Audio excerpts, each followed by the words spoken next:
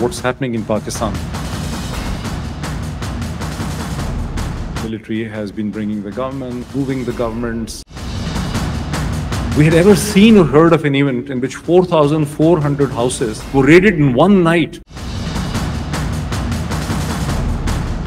This is the first time the Lahore High Court, Islamabad High Court, Peshawar High Court is releasing someone, and there at the doorsteps, the police comes up and in total rebuke and shut up call to the High Court, the police again arrested. The Pakistani uh, establishment has identified Imran Khan as the enemy. Assalamu alaikum to all of you. I am thankful to, um, to all of you, to Dr. Munir, to Dr. Khizar, um, Sadia, to Dr. Kiran, and Dr. Tariq, and to all organizers uh, for giving me the opportunity to be here today. Uh, I'm also very happy that this is a university setting. Unfortunately, I think that the students are not back till 28th of August. I was very eager to see more students, but I think that the university setting actually sends a sort of a message, which is very important. Um, the theme that has been given to me by Dr. Munir and the organizers uh, this panel is that why the democracy repeatedly fails in Pakistan. Um, I had also promised Dr. Munir, in fact, I asserted that, you know, I would not take, uh, my 10 minutes can become 12 minutes, but it would not become 15 minutes. So I would present a few bullet points as assertions rather than as explanations of why I'm saying what I'm saying. And I look forward to the question answer session. I see there's a lot of experience uh, in this room, um, hundreds of years of experience. Everyone has reached a point from somewhere. And I think we'll be able to, all the panelists will be able to bring depth and gravitas to our discussion. Our goal over here is to find solutions, not to condemn. Um, and I would, the points I'm going to say right now, I would um, I will try to expand upon them when you raise the questions. So we, we think in terms of the questions.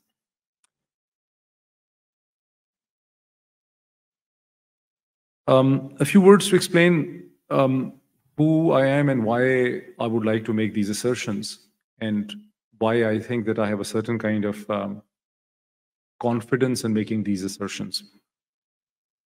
I am a television journalist. I also I have also written extensively. I've been writing for the past 20 years, and I have been published in almost all Pakistani major newspapers and international publications. I've been a columnist with the Khaleej Times. I've written for Al Jazeera.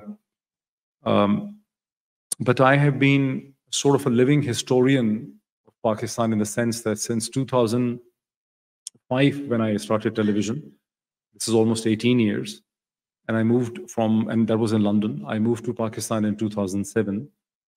From 2005 till this time period, before I became, I had to run from Pakistan, I became a proclaimed offender and terrorist.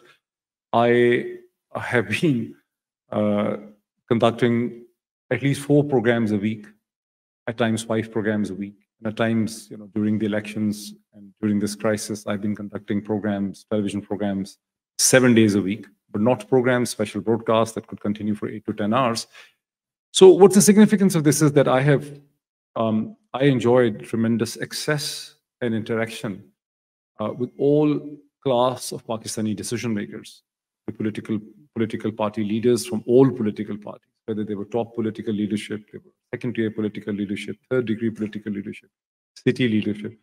Similarly, I enjoyed an unfettered, unfettered access to the corps of diplomats, whether it's Pakistan Foreign Office or the US Embassy, the British High Commission, the Indian High Commission, very important in terms of understanding the issues in Pakistan.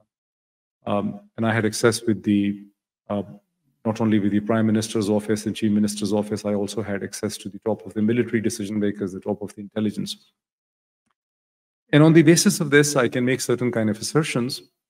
Um, when I look at many writings in the last six months um, from Pakistani major English publications, also on the Twitter, um, from people from parts of think tanks uh, and universities. Um, the impression is created as if what's happening in Pakistan um, is a routine affair, or there's nothing unusual about it, and this has been happening before. I mean, military has been bringing the governments, and military has been removing the governments. Uh, I mean, what if the Imran Khan government has been removed the way it has been removed? Nawaz government was also removed. Benazir Bhutto was also assassinated. And these things have been happening in Pakistani history. So it's just a usual, normal routine of the Pakistani history. I would assert that the present crisis in Pakistan,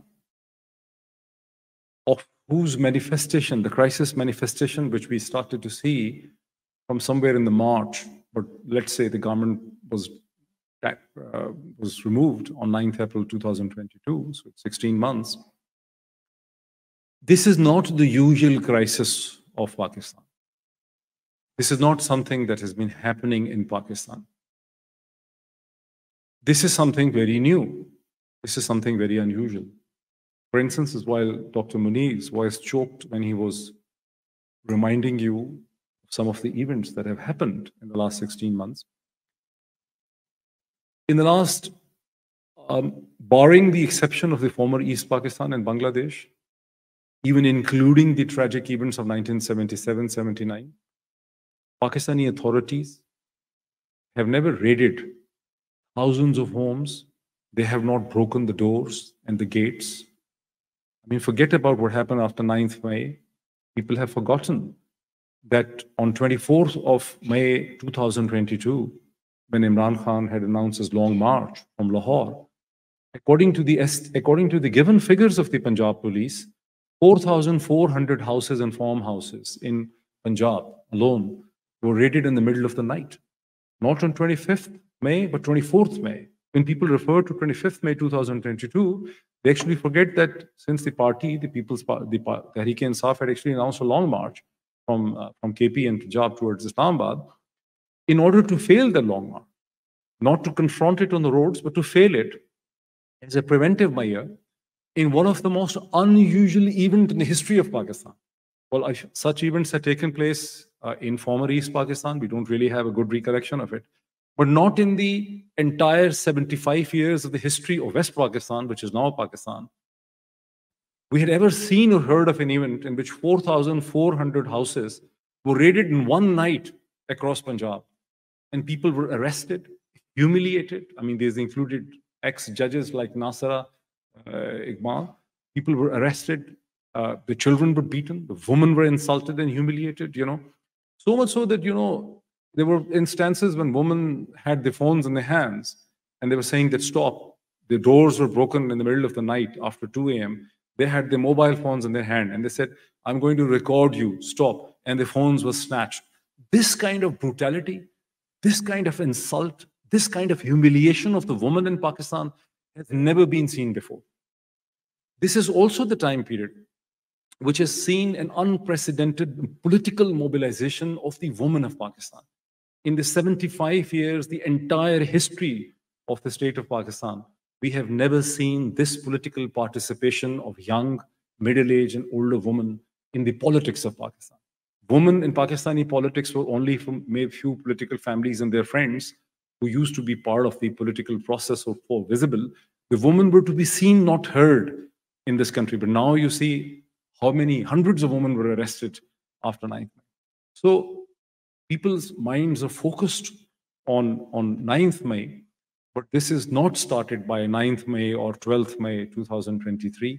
This process of the reign of terror and the brutality was unleashed from 24th of May 2022. You must actually remember this thing. This is the first point. Then breaking doors and homes arresting men, stripping them naked in front of their family. I mean, the way Dr. Shahbaz Gill, I haven't seen him. Where is he? Or oh, he's not, he will probably arrive later, right? You know, the way in August 2022, Dr. Shahbaz Gill was abducted illegally, stripped naked, electrocuted, kept in jail for 45 days. I mean, one example. What happened to Senator Azam Swati? the way his videos were made and sent to his family and his wife, I mean, to show the power of the state.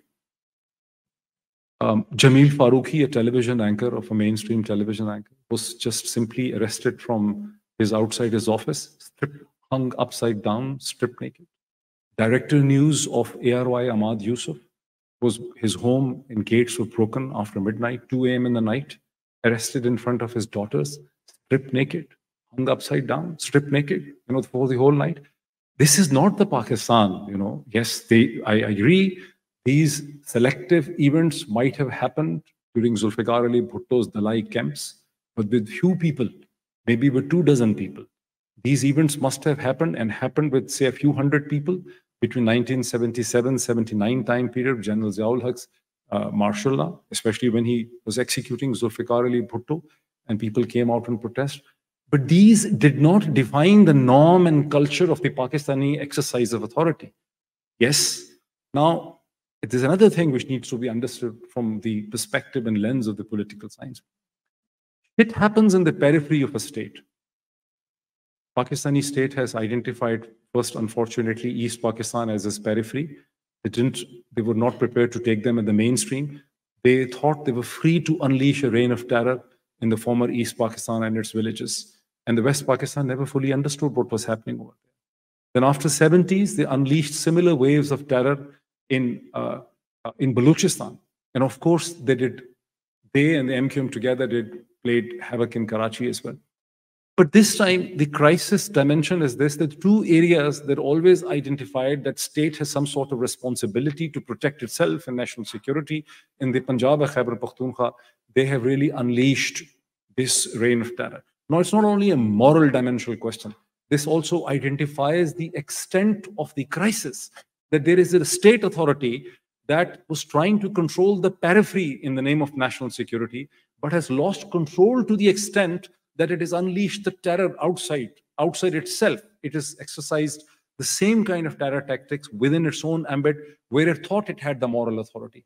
In the process, it has lost all moral authority. So this is where the crisis is. Now, let me wind it up because I said I will. Um, so, why it is different? The, the three or four points, the kind of polarization between the left and the right, the kind of polarization between PTI and PMLN or PPP, the kind of polarization between the PTI and the establishment that is being seen right now is a totally new phenomenon. This kind of sharp divide and polarization has not been seen before. The second thing is, uh, yes, um, this is also a point to be understood. The way the process of law and constitution has been totally undermined. The courts, the high courts, the right of habeas corpus, which is in fact a common law right from 12th century, perhaps, that where people have to be released when a court says produce the body. This is the first time. This did not even happen in 1977, 79. The Lahore High Court, Islamabad High Court, Peshawar High Court is releasing someone, and there at the doorsteps, the police comes up and in total rebuke and shut up call to the High Court, the police again arrest the people the way the Supreme Court of Pakistan has been made dysfunctional.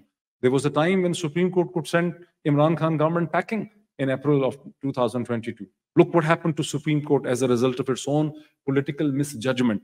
So the way law and constitution have been eroded is also a totally new phenomena. Now, the erosion of the law and constitution can have its resonance within the 1977-79 time period.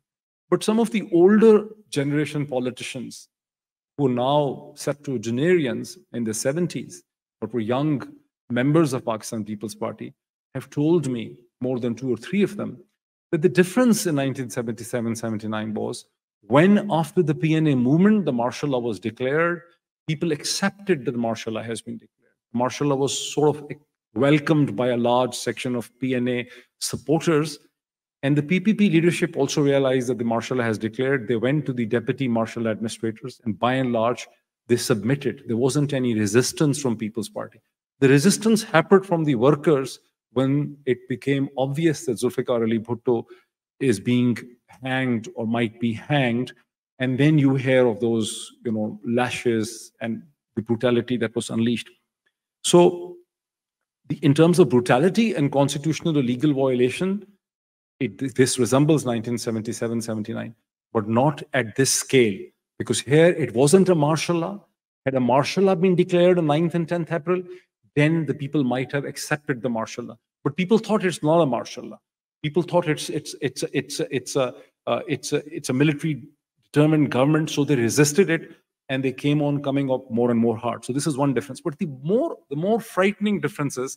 so whereas there's one resemblance with the martial law of 77, 79, the other resemblance with the ethnic division of 1970, 69, 1971 time period, the way this ongoing uh, polarization is polarizing Punjab and KP. Right now, no one has said it openly. But as a political scientist and as keen student of Pakistani history, we need to see how the Federation of Pakistan is being undermined as a, as a result of this thing, what is happening right now. So why it is really happening? One important dimension, you see, the Pakistani uh, uh, uh, establishment has identified Imran Khan as the enemy. They think that somehow or the other, if they manage to control Imran Khan, manage to bottle him up, or maybe force him to surrender, or they eliminate him, as of, of course an attempt was made to eliminate him on 3rd November 2022.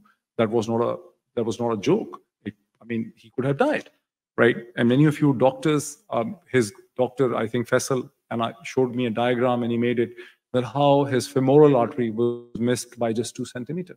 So if that femoral artery had blown off, there would have not been any possibility of applying a tourniquet in Wazirabad, and he would have died. So, I mean, of course, it, it, he could have died. So the establishment identifies Imran Khan responsible for all the challenges and the problems they face. But it's actually not Imran Khan. Imran Khan has become the agent and the symbol of this change. The change has to do with two or three factors. Pakistan's demographic change the census says it is 241 million. You never know it's 241 million or it's 250 million. But the population has grown. The second factor is the young in this population are almost 65% to maybe 68% of them are under 35 years of age. Second factor. The third factor is this, there is a unprecedented income inequality. This kind of income inequality was not, uh, you know, you really need an economist to understand that. But the Pakistan of 1950s to 1990s onward didn't have this kind of income inequality. People might have looked poor. They were not short of the caloric value. They were not short of the ability to feed themselves. They were still eating properly. They had the proper protein and whatever. So the massive income inequality is another factor. Um, they don't have meaningful jobs this huge young youth force doesn't have meaningful job that can occupy their minds, that can give them a sense of reason, an identity to life, a sense of definition of what the life means for them. That is another problem. Establishment's old utility of 1960s, first against the Soviet Union, then in Afghanistan wars has ended. Now, establishment's utility appears for the West to be able to tame and control Pakistani population, to subdue them, to submit to an Indian design on the region so that India can actually stand up and can face up to the rise of China. Because according to the best political scientists, the only real way of containing the rise of China is actually let, letting India develop and become as big as a regional power uh, as China is. And without Pakistan being a cooperative framework to, to the Indian economy or to the Indian system, this is not going to happen. This is also a factor. So India's rise is very important. End of a step. To, till I last word. Um, West rising fear of China. China's presentation of the Belt Road Initiative and its component as CPEC is also an important factor. Then the China-India conflict of June 2020 unnerved India and India's supporter, where India complained to its supporters that it has been locked into a two-front situation with two nuclear states, China on one side and Pakistan on the other side. All these factors in my analysis has made Pakistani establishment extremely insecure about its own future. It has to, it is trying to redefine itself, find a utility and a purpose of its existence, which in the political science is called as a raison d'etre. And that is why the panic is such that they not only have controlled all Pakistani expression within Pakistan. They're trying to suppress all Pakistani expression in North America, diasporas, us sitting over here. So I will take your questions whenever I get the opportunity. Thank you so much.